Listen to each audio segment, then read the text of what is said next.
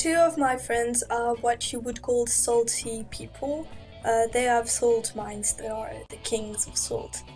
And there are people that I really appreciate and that I know I can count on them. And I'm gonna explain to you why you should get yourself a salty friend.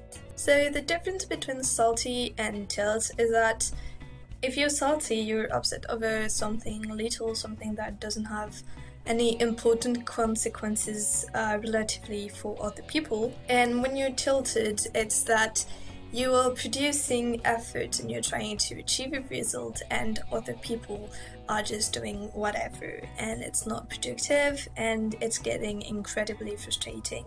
And you just get really, really tilted, and you want to break stuff. All in all, in the two cases, it's the discrepancy between something that is important for you and not important for other. When people say you're salty, it's because you get upset over something that doesn't upset other people that much. And if you're tilted, it's because you're trying to obtain something, and the amount of work you're putting in isn't worth the result. There is also a difference between salty people and rager where rage is gonna rage and salty people. Everyone can get salty if you ask someone not to put tomatoes in your sandwich and they do put them. Well you're salty obviously because they're not listening to you and it was not a difficult demon. And you have the right to feel upset there are people that make fun of people getting tilted and salty and rage quitting.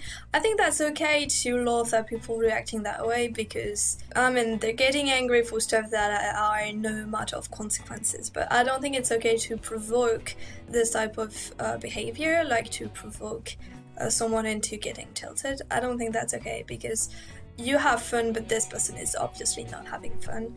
And I don't think that's kind of you to do that. So, what does this imply if you have friends like that? Well, the obvious first thing that comes to mind is that they care. And they care a lot and about a lot of stuff. They care about stuff that you don't care about or you do not deem as important, but they do, which means that for things that are really important, they obviously care about it and they understand why you care about stuff as well. And because they care so much, sometimes too much, they have this protection called I don't give a shit. And so they have this dynamic where you talk to them about stuff and they don't answer or just answer okay because they don't have time for shit. They care about the important stuff and it's not that they don't care about you, because they do. It's just that they care about different stuff than you care about. And that's why you call them salty. And that's why they tilt about stuff. It's because what they care about, most of other people don't care that much. And so what you care about, they don't care that much. But it doesn't mean that they don't care about you, it's just that they care differently and they uh, express it differently as much as they understand your need of uh, talking about stuff uh, that they don't care as much as you about, they also know exactly where they stand and what are their limits.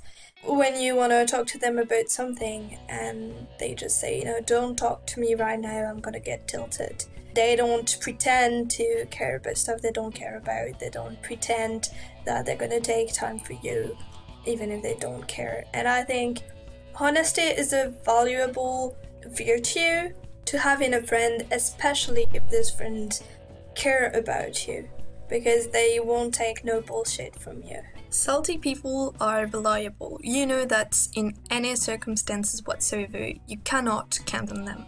They're just kidding. The thing is, you know what you can and cannot ask of them. For example, if you want a hug, okay, they're done for it. If you want to call because uh, you're in a bad place, okay, they have time to talk with you. You want to do something on Sunday? They told you they had some event planned. What are you bothering them about? And you know exactly where you stand with them. And at this point, you might think, it doesn't matter, I can never be best friend with this type of people because they're never gonna care enough about what I need them to care about. And first of all, that's not true.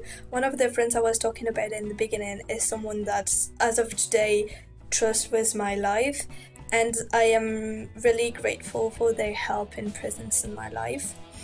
And if I want to talk to them about stuff and they don't have the mind for it because they also have things going on with their life, I respect that because they respect when I don't have the time for them. And they know that we are a different person and that we care about different stuff, and that's okay. It doesn't prevent you from caring about the person as a whole. So they make you ponder things and make you reconsider um, important stuff and not so important stuff. Random fact of the day if you drink your own blood, you can get poisoned and die from it. And I learned that because I was reading a comic and uh, the guy had a nosebleed and someone told them to put their head back. And an ambulance man rushed and said, No, no, you must put your head down and I asked an ambulance uh, woman that I know uh, what and why and what's going on with this. And she told me basically, if you put your head back, you can drink your own blood and get poison from it, and it's really bad. And if you put your head down, the weight of your brain is gonna push against your blood vessel in your nose and stop the bleeding. So that's what you should do if you get a nosebleed. And finally, for today's music is the karaoke version of After Dark by Tito and Tarantula, and I was actually searching for an instrumental version, but only the karaoke version was uh, popular in YouTube, so that's the one I took, even if it's a bit different than the original song, which I absolutely love. And I hope you like it. Take care of yourselves, folks, and hope to see you soon.